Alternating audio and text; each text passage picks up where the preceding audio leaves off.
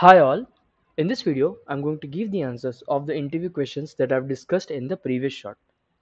So the question number one was, what is the use of let variables in LWC? So whenever we have to declare a variable on the block level, that's where we use the let variables in LWC. For an example, let's say I have a function. this is my function. Now inside this function, I have a particular block of the code that if something is true, okay, I'm going to execute this part of the code. Else I'm going to execute this part of the code right? Now inside this if else if this part in this particular block of the code if I have to create a variable to assign a value in that cases we can create a let uh, name equals to assign the name for example test. We can assign the name for it. So basically if you have to create a block level variable inside this block if you need a variable in that cases we use let variables in LWC let's move on to the next question.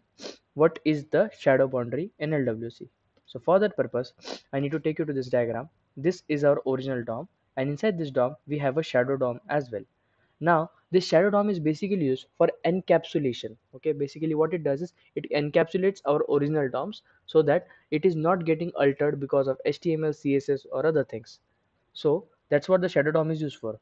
But as we can see there is a separate line right? As you can see there is a line in between the main DOM and the shadow DOM. And this particular this particular line is called as shadow boundary in LWC let's move on to the next question. What is the max character that can be used in URL mapping? So now whenever you are going to expose rest resources okay? Whenever you are going to expose any of our apex class to the external system using rest api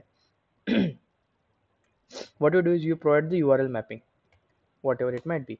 So inside this url mapping it's not possible that you can give any length of the characters okay? There is certain limit to which that you can specify the character to that is 255 okay? Only 255 characters that can be included inside your url mapping.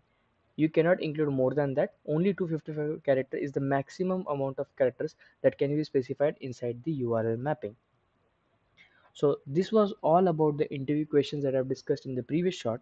If you found this video helpful i request you to please like this video and subscribe to my channel